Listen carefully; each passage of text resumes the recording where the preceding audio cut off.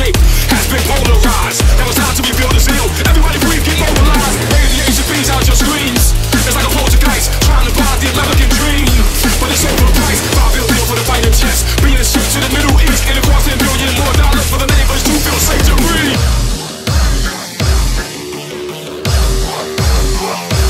Breathe with me. Sometimes we gotta stop and breathe.